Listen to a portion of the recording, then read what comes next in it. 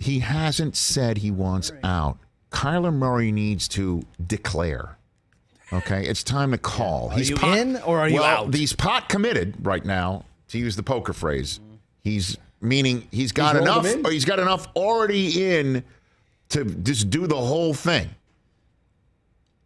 And the whole thing is dicey for him. Not because of Pittsburgh, it's because the difference between Murray and his Instagram and whatever Aaron Rodgers was doing with his Instagram, and it could be just as simple as him just wanting to tell everyone in his life that he loves them, um, is that Rodgers is the back to back MVP of the National Football League. that's true. And that's doubled the number of MVPs that he's had, and he's going to the Hall of Fame, and he's got a Super Bowl ring. Now, you could make as much as you want about the lack of other Super Bowl rings for him and how that has been a problem. But everything else for Aaron being generationally wealthy and playing deep into his career and all of that is good in the hood. For Kyler Murray, all he's done is had a terrific Heisman Trophy college career, got to the pros, and has made a big splash because he is really good. But that's it. And if he's going to say, I want out to go to Pittsburgh, well, guess what you're going to have to do in Pittsburgh? What you didn't do in Arizona. And you can hit a reset button and have Mike Tomlin be your HC.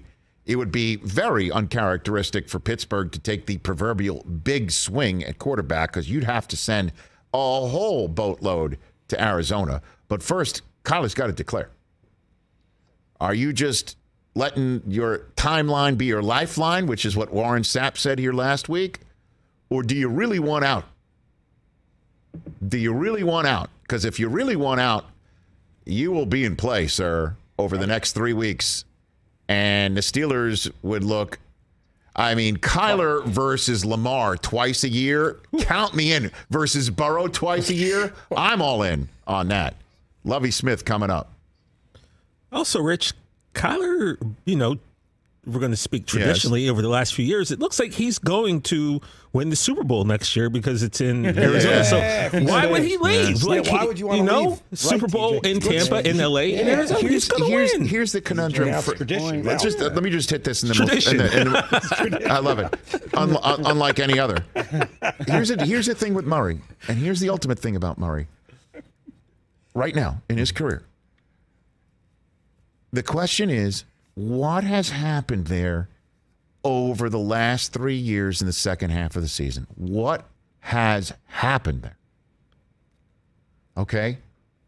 Now, can you just chalk it up to this year? DeAndre Hopkins went out, and that was a big problem. that was big. You could also um, chalk it up to the first year he didn't have DeAndre Hopkins there, right? I mean, you- was there, there's many then he got different there's many many different things in- in play, lots of variables. But is it him? Is it him? Is it him not making the plays? Is it him not executing the plays? Is it him checking out of the plays? Is it him?